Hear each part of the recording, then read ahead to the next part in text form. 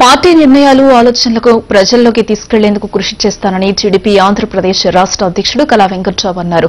టీడీపీని కార్యకర్తల పార్టీగా తీసుకొచ్చిన ఘనత చంద్రబాబుదేనన్నారు.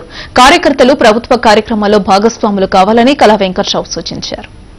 నలభై నలభై ఐదు రోజుల్లో చంద్రబాబు నాయుడు గారి నాయకత్వం మాకు కావాలి. ఈ రాష్ట్ర అభివృద్ధిలో ఆయన ఉండాలి.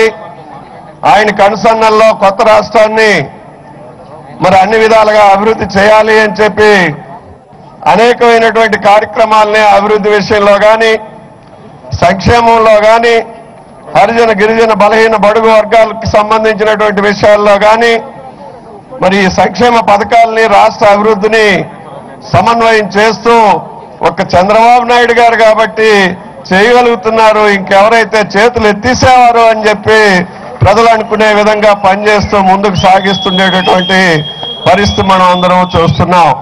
నేనున్నాను చంద్రన్న నీ వెంబడ అని చెప్పి ముందుకు సాగేటటువంటి కార్యకర్తలు తయారు చేసిన ఘనత ఎనభై నాలుగు నుంచి ఈవేళ రెండు వేల పదిహేను వరకు అది చంద్రబాబు నాయుడు గారికే దక్కింది.